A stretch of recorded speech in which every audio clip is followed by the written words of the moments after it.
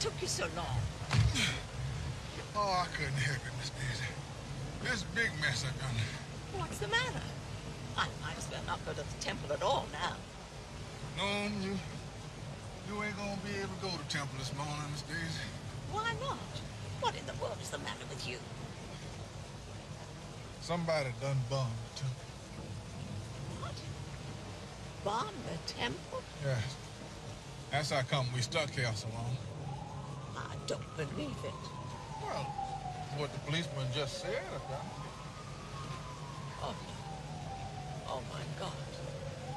What, was anybody there? Were people hurt? I don't know. He didn't say. Who would do such a thing? You know good as me, Miss Daisy. Always be the same ones.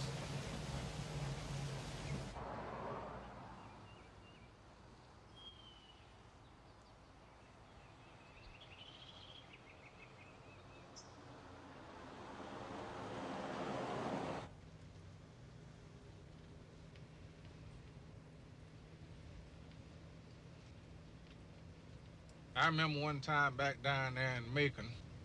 Oh, I couldn't have been no more than 10 or 11 years old, I reckon. I had this friend named Porter. One day there, his daddy was hanging in a tree. Now, just the day before, we'd all been pitching horseshoes, see?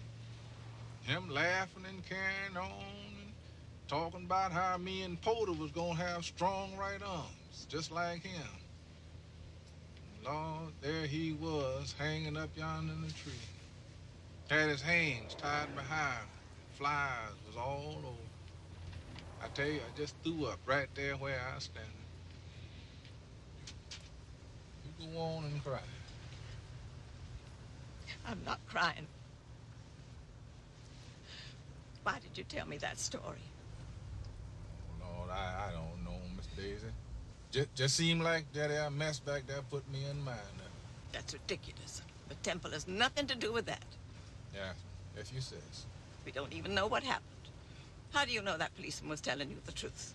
Well, why would he go and lie about a thing like that? Well, you never get things right anyway. Now, Miss Daisy, somebody done bombed that temple back yonder, and you know it. Go on, just go on now. I don't want to hear any more about it. You the boss. Don't talk to me.